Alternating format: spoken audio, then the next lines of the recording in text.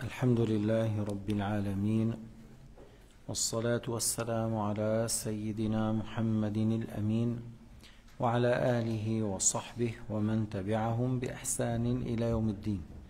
الشعبة الخامسة والسبعون من شعب الإيمان باب في رحم الصغير وتوقير الكبير. C'est un chapitre, c'est la 75e branche de la foi, le fait d'être clément envers les petits et le fait de bien glorifier et respecter ceux qui sont plus âgés que toi, ceux qui sont plus grands. روى البيهقي وكذا مسلم عن أبي هريرة قال سمعت رسول الله صلى الله عليه وسلم يقول جعل الله الرحمة مئة جزء جعل الله الرحمة مئة جزء أي آثار رحمته آثار رحمته مئة جزء فأمسك عنده تسعة وتسعين وأنزل في الأرض جزءا واحدا. أمسك عنده تسعة وتسعين ليوم القيامة لأهل الجنة. وأنزل في الأرض جزءا واحدا.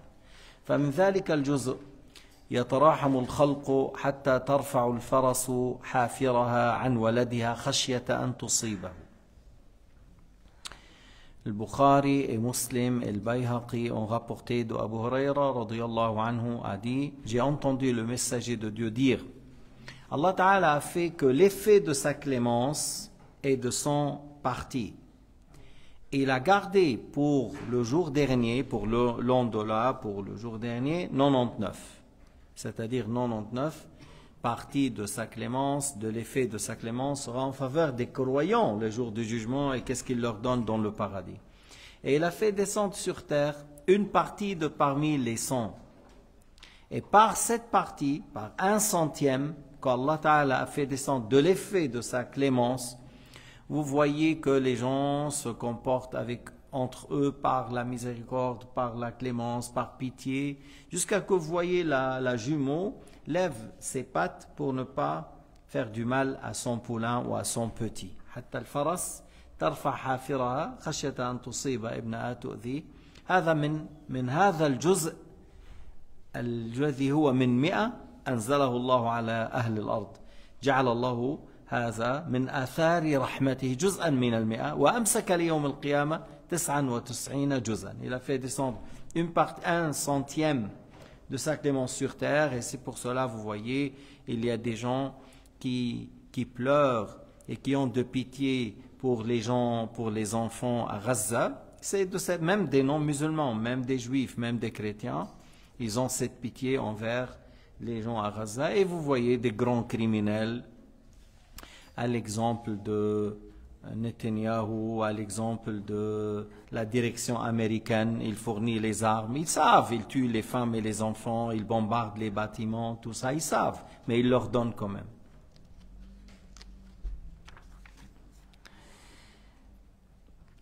وعن ابن عمر عن عبد الله بن عمر قال قال رسول الله صلى الله عليه وسلم ليس منا من لم يرحم صغيرنا ويعرف حق كبيرنا ليس منا ليس كامل الإيمان ليس حسن الإسلام ليس مؤمنا كاملا عبد الله بن عمر a dit j'ai entendu le messager de Dieu dire il n'est pas parmi nous celui qui n'est pas clément envers les petits et il ne sait pas le droit de, des personnes âgées parmi nous qui sont grands parmi nous Alors le, la parole laïsa minna, il n'est pas parmi nous, ça veut dire il n'est pas un bon musulman, il n'est pas un bon croyant, celui qui n'a pas de pitié et de clémence envers les petits et celui qui ne respecte pas les personnes plus âgées que lui. Il n'est pas un bon musulman.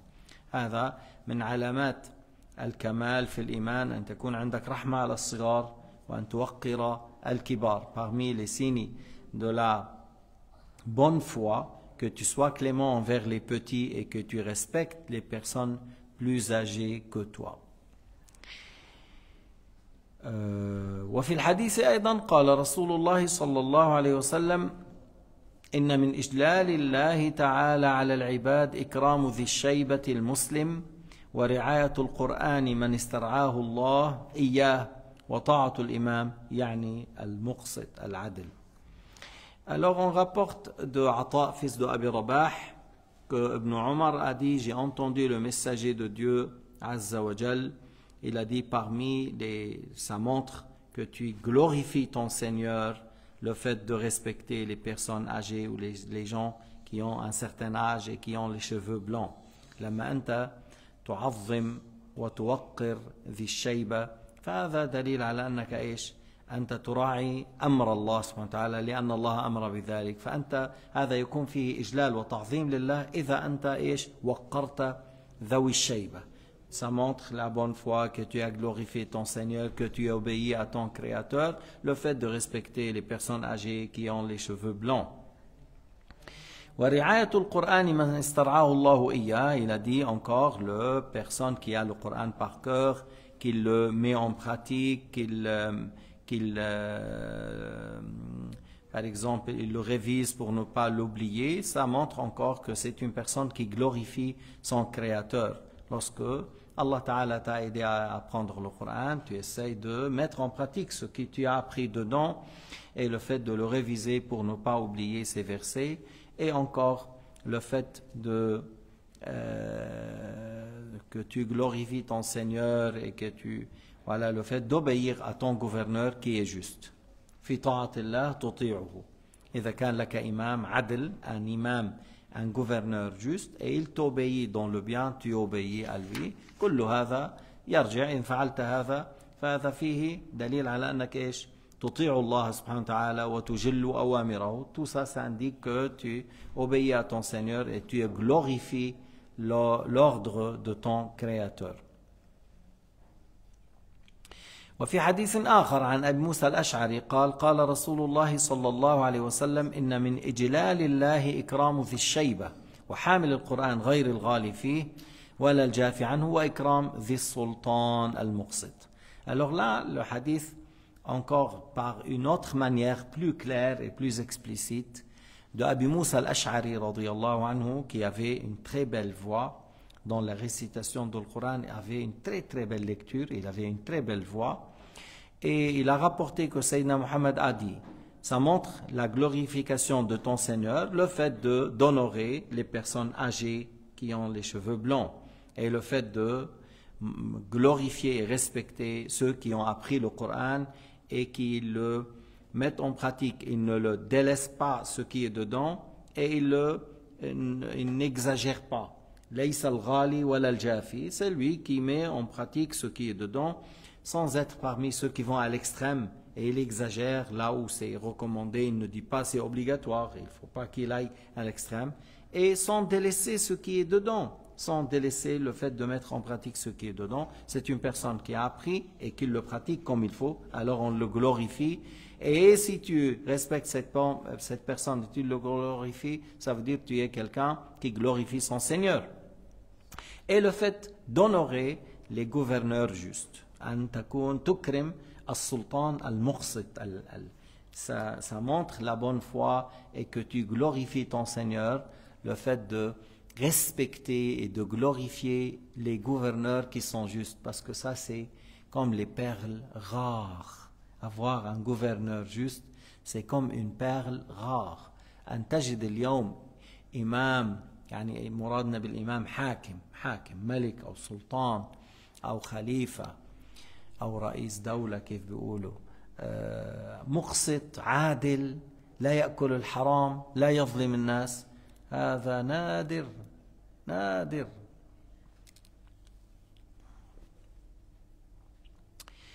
وروى البيهقي عن ذي النون المصري رحمه الله ثلاث من أعلام الوقار تعظيم الكبير والترحم والرحم للصغير والحلم عن الوضيع Alors il a dit, Venoun al-Mustri, Turwasini, que tu es un homme dignitaire, que tu es un homme de bien. Le fait de glorifier le grand, les personnes âgées, le fait d'avoir la clémence envers les petits et le fait de, de pratiquer l'intelligence à certaines personnes qui sont à bas niveau. Des fois, il essaye de te faire du mal ou il dit des paroles à travers qui ne sont pas à sa place. Toi, tu pratiques l'indulgence, tu fais semblant que tu n'as pas entendu. الإنسان الوضيع الذي قد يسب يمينا وشمالا والذي يعتدي على الناس أو سفيه سفيه وضيع تحلم عنه الحلم بمعنى إيش لا تعاجل إليه فترد عليه بالمثل ولا تحاول أن تنتقم منه إنما تعرض تعرض عنه وفي حديث أن النبي صلى الله عليه وسلم قال كبر كبر أي ليتكلم الأكابر منكم في السن il y avait un groupe de gens et il y avait un jeune homme qui voulait parler. Le prophète a dit Al-Kubar Al-Kubar dans une version, c'est-à-dire le personne âgée qui parle tout d'abord avant les petits. طبعا إلا أن يكون إلا أن يكون مثلا on est dans une groupe et les personnes âgées n'ont pas de science, n'ont pas d'expérience, n'ont pas de sagesse et il y a un jeune qui a la science, qui a la sagesse, alors c'est le moment, à ce moment-là celui qui parle. فيما لو كنا في مجلس وكان الكبار في السن لا فقه ولا علم عندهم ولا ولا يوصفون بالذكاء ونحو ذلك فإذا تكلم شاب حكيم عليم فهيم لا بأس. لكن إذا كان من بين هؤلاء من هو كبير في السن وهو ذو علم وحكم حكم الكبر الكبر alors on laisse la personne plus âgée qui parle tout d'abord.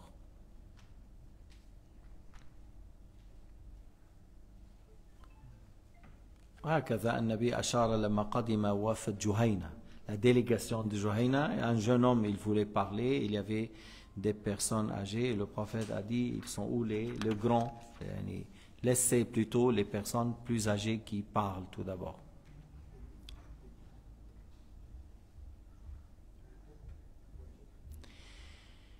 وفي الحديث أيضا عن جرير بن عبد الله البجلي جرير بن عبد الله parmi الصحابة قال لما بايعت رسول الله صلى الله عليه وسلم قال لأي شيء جئت يا جرير Alors lorsqu'il est Jarir est venu, il a donné le pacte au prophète alayhi salatu wasalam. Le prophète lui a dit pour quelle chose tu es venu au Jarir Alors il a dit je suis venu pour embrasser l'islam.